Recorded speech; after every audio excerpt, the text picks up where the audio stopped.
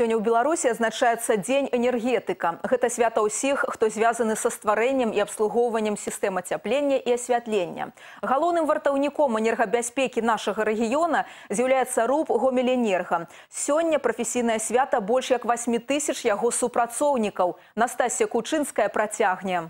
Гомельская ТЭЦ-2 – одна из крупнейших теплоэлектроцентралей страны. 24 часа в сутки, круглый год, без перерывов и праздников. Сложное оборудование под неусыпным контролем. На ТЭЦ трудятся более 700 человек. От них зависит ни много ни мало энергобезопасность областного центра. Зимой две трети Гомеля получают тепло и свет именно отсюда. Летом ТЭЦ обслуживает весь город. Теплоэлектроцентраль всегда считалась одной из передовых в стране. Здесь постоянно работают над тем, что раньше называлось рационализаторством, а сегодня инновацией инновациями. Многие новшества осваивают первыми. Быстрее остальных начали готовиться к вводу Белорусской АЭС. В связи со строительством белорусской атомной электростанции изменяется структура энергопотребления в республике.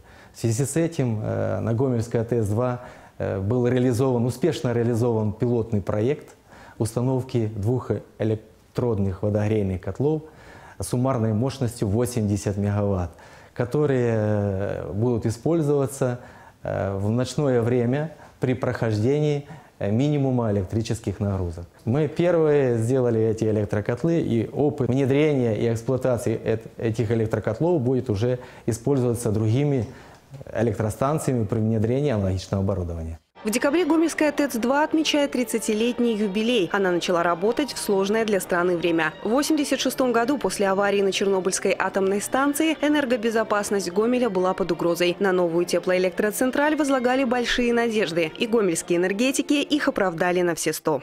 Пуск блока, я как сейчас у меня э, перед глазами стоит, даже не верится, что уже прошло 30 лет. Знаменательное событие, это как раз дефицит электроэнергии был перед после Чернобыльской аварии. Вот, поэтому он очень необходим был, и республика все силы бросила на скорейший пуск этого блока.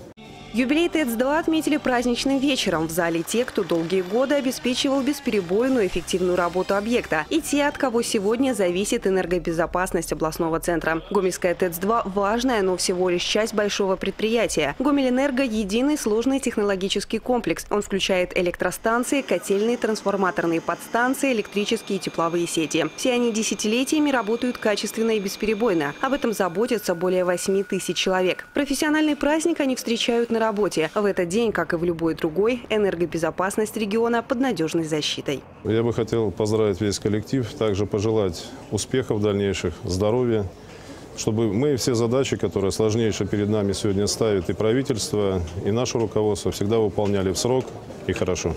Значение труда энергетиков трудно переоценить. Их работа в прямом смысле приносит в наши дома тепло и свет. Анастасия Кучинская, Евгений Макеенко, телерадиокомпания «Гомель».